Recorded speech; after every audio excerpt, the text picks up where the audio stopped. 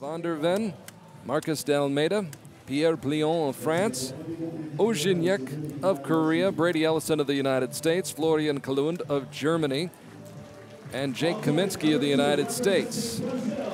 Jake Kaminsky, though, taken care of by this young man, Marcus Vinicius d'Almeida from Brazil, the 16-year-old who is the youngest archer ever in a World Cup final field. But certainly shooting like a veteran, and he does have a lot of experience on the international circuit as a junior and now getting a lot of experience this summer on the World Cup circuit as well. And he'll need that experience as he takes on 21 year old Florian Kahllund of Germany, the sixth seed. Number six on the World Cup circuit with 30 points, 25 of those coming in Antalya, Turkey, where he defeated Kuban Chan using his spare bow in a match that went to a shootout. So 25 of his 30 points came in Turkey at stage three and helped propel him to the World Cup Finals, where he now faces Marcus d'Almeida of Brazil.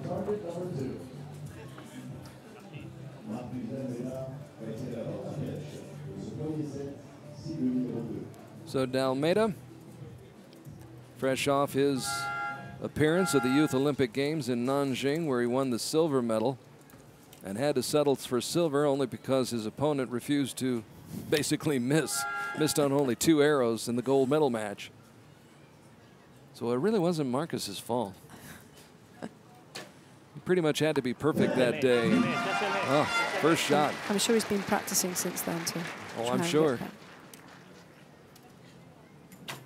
Picks up where he left off this morning, while Kalunda's low.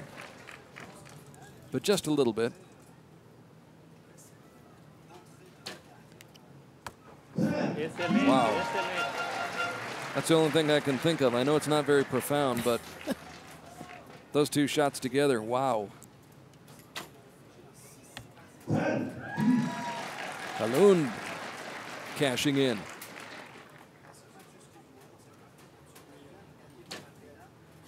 Ten, 10, 10. 30 points for the 16-year-old from Brazil. The set goes to d'Almeida. And Kahllund so, shot, so shot an excellent set. 29 and yeah. still loses the set. Now he knows how Marcus d'Almeida felt at the youth championships. what are you going to do? I shoot at 29 and it's not good enough? What a great start. And I've got to think it's a little bit of a challenge. You, you have the, the quarterfinals in the morning, Hilda, and then you got to wait till the afternoon, and you got to go through lunch and warming up again, and keeping that edge, I think, is, that, is, is what's the challenge. Yeah, well, yeah, it certainly is. It's a challenge to whenever this is this is short, you know, 15 arrows. Mm -hmm. um, if it goes to five sets, less if it goes to fewer sets, um, and you've got to be really on your game straight away. So practicing that you know, doing the practice, getting ready, going through your mental routine, coming in, you know, again, going through your mental routine for each stage is really, really important. Got to stay on your game and carry it through from the quarterfinals here to the semifinals. And both of these archers have done that. d'Almeida just doing it a little bit better in that first set. So he leads two to nothing and prepares for his first shot of this second set. Okay, okay. and misses for the first time in this semifinal matchup with Florian Kahllund.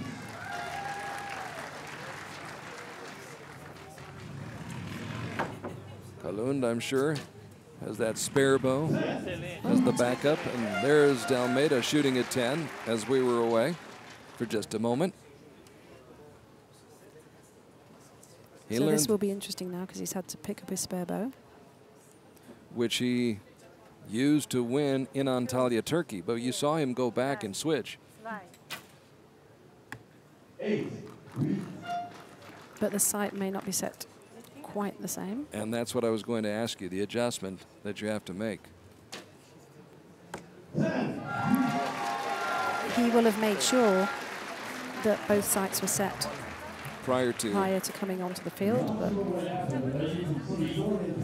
But never really a good sign when you have to go to that backup bow no, in the middle of your match. no, because it's all about consistency. So if Sure. you If it's you not set up like it- the first one, athletes at this level, they have a spare and they always they practice with both so they can switch between one and the other. But it's always it's a different bow, you know. Um, there's always a chance that there may be something different. and the one sight may be shot, set slightly differently. and one shot, excuse me, I'm sorry to interrupt you. One shot may make the difference. And it may be that first shot that you take with that backup bow. Absolutely. It did work out for Florian Kahllund in Antalya, Turkey. Had to use his spare bow there as his arrow rested broken. He went on to win the gold medal in a shoot-off against Kuban Shan. But now using that backup bow against Marcus d'Almeida, and d'Almeida dominating right now. 4 nothing the lead. Could he be on his way to a straight set sweep over the gold medalist from Antalya?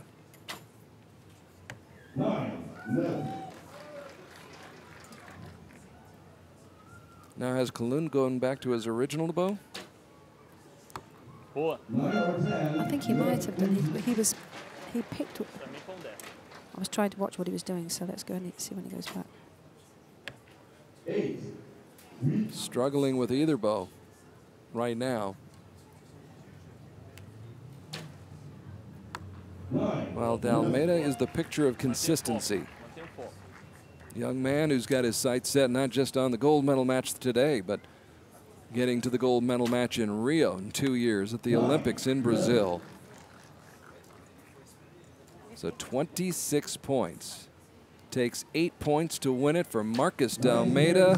It's a done deal. d'Almeida closes the deal in three straight sets.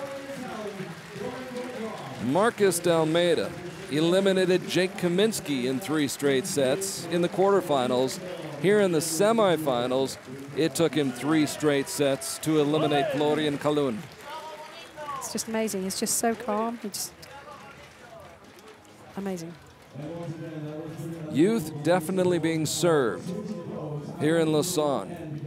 As Florian Kahllund, 16 years old, the youngest ever to make it to a World Cup final, is going to go on and fight.